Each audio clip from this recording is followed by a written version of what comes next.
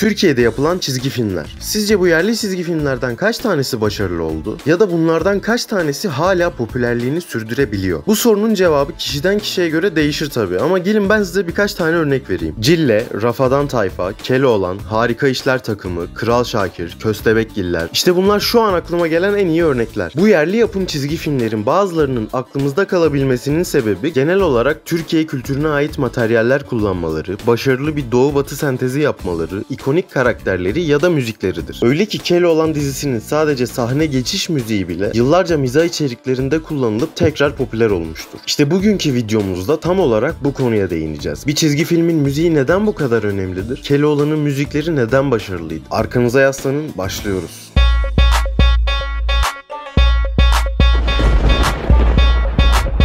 Keloğlan bir çizgi dizi olmasına rağmen tıpkı dünyaca ünlü usta yapımlar gibi karakter temalı müzik tekniğini kullanmıştır. Bu tekniğin yurt dışındaki en ünlü örnekleri Star Wars, Transformers, Avengers gibi serilerdir. Bizim ülkemizde de Kurtlar Vadisi'nden sonra zamanla diğer Türk dizilerine de geçmiştir. Ama bunu kullanan çizgi dizi sayısı epey azdır. İşte Keloğlan Türkiye'de karakter temalı müzik tekniğini kullanan ilk çocuk dizilerindendir. Hatta bundan dolayı bu dizinin müziklerine çocukların Kurtlar Vadisi gibi yorumlar yapıldığını dahi gördüm. Peki dizi bunu hangi karakterlere uyguladı? Gelin hep birlikte bakalım.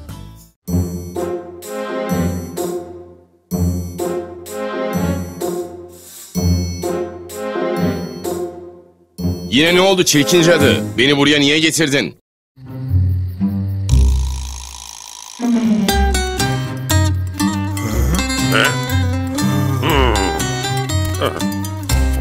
Haklısın. Gidelim. Aman da aman. Kimleri görüyorum? Keloğlan ve Kara. Yarışmaya mı hazırlanıyorsunuz yoksa?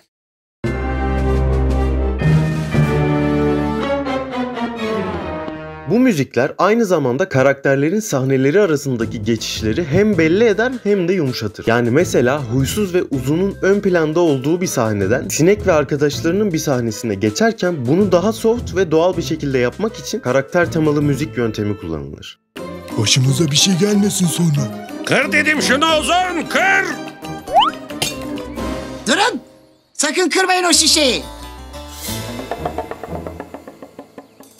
İşte bunun gibi sahnelerde siz fark etmeseniz de arka planda hep bu teknik vardır. Tabii tek olay bu değil. Merak etmeyin. Takıntılı bir dinleyici olarak size diğer detayları da göstereceğim. Keloğlan'ın bütün dizi müziklerini Selçuk Yusuf Ergen bestelemiştir. Keloğlan masalları ve Keloğlan fenomeni de Anadolu'nun bağrından gelen bir halk hikayesidir. İşte Keloğlan'ın dizi müziklerinde duyduğunuz o bağlama esintileri ve o etnik perküsyon çalgıları bu Anadolu kültürünün bir yansımasıdır. Ama Keloğlan'ın müziklerini klasik basit saz soundtracklerinden ayıran şey orkestral müzik de içermesidir. Yani üflemeli ve yaylı çalgılarla yapılan gerilim müzikleri. Etkili ve önemli sahnelerde çoğunlukla bu orkestral müzikler kullanılıyordu. Bu sahnelere Keloğlan da katıldığında ise orkestral müziğin üstüne bir de bağlama esintileri ekleniyordu. Bu sayede Keloğlan'ın bütün müzikal materyalleri tamamlanmış oluyordu. Heh işte şimdi geldik videonun en önemli kısmına. Doğu Batı sentezi. Yani az önce bahsettiğim Anadolu müziği ve bağlama esintileriyle orkestral sinematik müziğin uyumlu birleşimi. Bu sentez neden bu kadar önem arz ediyor? Çünkü Doğu Batı sentezi geniş bir topluma hitap eden her yapımda oldukça faydalıdır. Hele ki bizimki gibi bir ucu Avrupa'ya öbür ucu Orta Doğu'ya temas eden bir ülkede inanılmaz önemlidir. Bunun en iyi örneklerinden biri Altın Balık bölümündeki Kırık Olta müziğidir. Gelin aşama aşama dinleyip dizi müziğinde Doğu Batı sentezi nasıl yapılır birlikte görelim.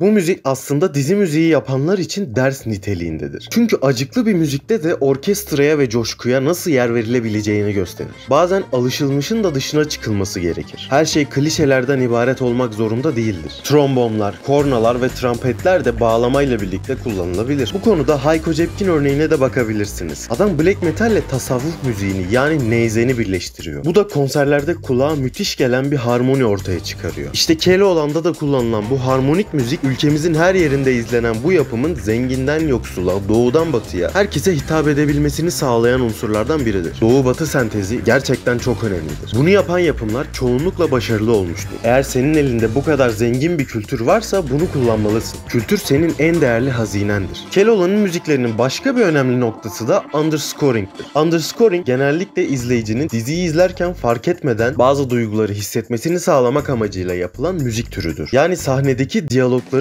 veya aksiyonu bastırmaz. Aksine onları tamamlayan bir müzikal öğedir. Şimdi biraz önce karakter temalı müziklerden bahsedip örneklerini göstermiştik. Peki underscoring Keloğlan'da nasıl kullanıldı? Gelin bunun da örneklerine bakalım.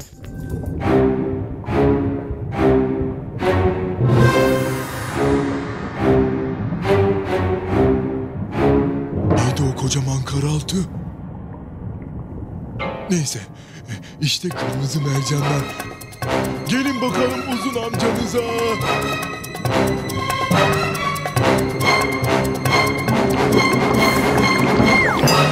Bu arada bunlar Keloğlan'da aynı zamanda bölüm içi müzik tekniğinin de kullanıldığını gösteriyor. Bizzat dizi müziklerinin bestecisi Selçuk abinin de paylaşımlarından gördüğümüz gibi Keloğlan'da bölümlere özel uzun müzikler yapılmıştır. Sonrasında bu müzikler gerektiği yerde başka bölümlerde de kullanılmıştır. Mesela Gençlik Kupası bölümünde Keloğlan ve Sinek yarışırken çalan müzik müze bölümünde de kullanılmıştır. Ya da meşhur arabayla kovalamaca müziği Aytaş'ın Sırrı bölümünde de kullanılmıştır. Yani Keloğlan'ın müzikleri bölümlere özel sahne sahne işlenerek anlık yapılıyor. Bakın bunların bir Türk çizgi filminde yapıldığını göz ardı etmeyin arkadaşlar. Kaç tane çizgi film bunu yapıyor? Keloğlan'da bir müzikal hiyerarşi vardır. Müzikler sırasını bekler. Bu sayede ne çok yersiz ne de çok abartılı gelirler. Bugün para söğüşlemek için yapılan Türk çizgi filmlerine bakın. Bir tane bile emek verilmiş ikon müzik bulamazsınız. Ha karakter temalı müzik yine bazılarında var o doğru. Bu yapımları zaten videonun başında söyledim. Ama bölüm içi müzik yöntemi hiçbirinde yoktur. Ya bu çizgi filmde bölümlere özel soundtrack yapmak mı? Hem de Türkiye'de. Ya bu bulunmaz bir nimettir. Bakın emin olun Keloğlan'ın sevilmesinin en büyük sebeplerinden biri müzikleridir.